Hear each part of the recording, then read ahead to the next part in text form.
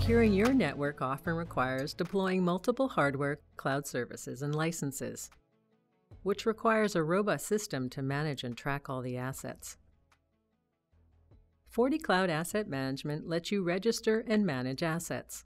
Instead of opening email, looking for registration codes in the attached PDF, and manually registering assets, Asset Management now provides an automated way to view assets in your order, register in bulk, or even schedule asset registrations.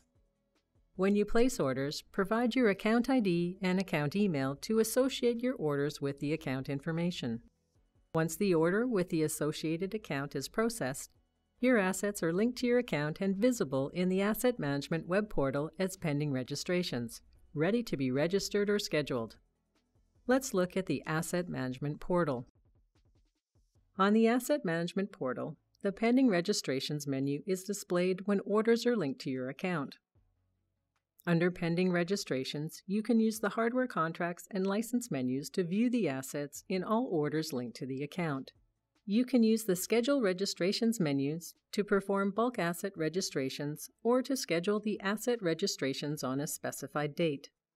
Let's look at the Hardware section. The Hardware page contains a list of hardware serial numbers organized by order number. For each order number, we can see the total number of devices ordered and the number of devices pending registration, along with the serial number, model information, warranty start date, and the registration status. The Incomplete Registrations Only toggle displays only unregistered devices. The search bar on the top allows you to search the list with serial number, order numbers, or model numbers. You can export the list to Excel or CSV format. Next, the Contracts page is similar to the Hardware page.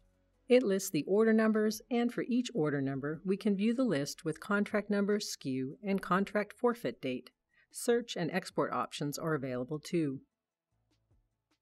The Licenses page provides the list of order numbers with license number and SKU, and it displays the activation code for each order. You can register licenses by using this activation code. The Schedule Registration page lists all the previously registered devices, as well as devices scheduled for registration on a specific date, along with the status of the bulk registration. For registering in bulk or by schedule, click the Bulk Registration button to start the bulk registration wizard. Select whether the users of the device are government or non-government users and choose a partner. The next step is to add the devices. Two options are available to register in bulk.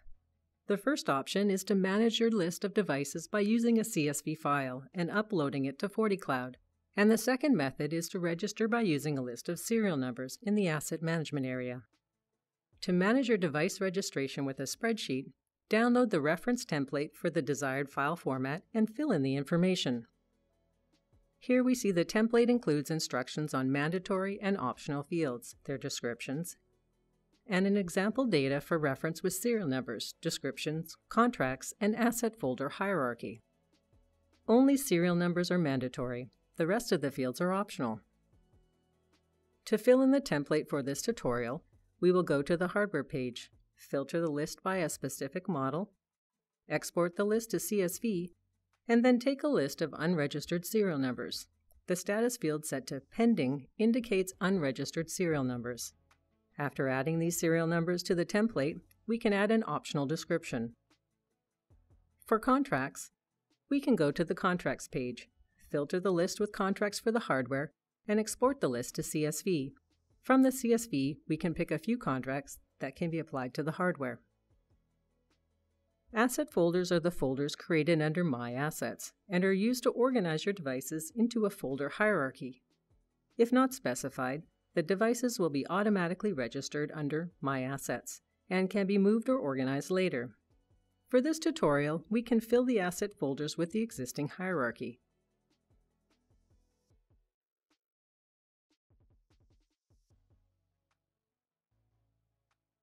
Once the file is uploaded, you can view the list and data and then click Confirm to proceed to preview the data, accept terms, and register the devices now or later by using the Schedule option. When the registration is complete, a success message is displayed and the process is complete. Alternatively, you can register serial numbers directly in Asset Management by entering the serial number list. You can obtain the serial numbers from a list exported from the hardware page with status pending. Then fill in the optional fields such as description and pick applicable contracts and asset folders. For selected devices and contracts, we can register now or schedule the registrations for a later date. Scheduling is available for both registration methods. For scheduling, select the scheduling icon, give it a name, and pick the registration date. When scheduled, the scheduled registrations list displays the status as on schedule. For scheduled registrations, the date can be edited. Contact your reseller for more information or if you don't have the pending registration feature.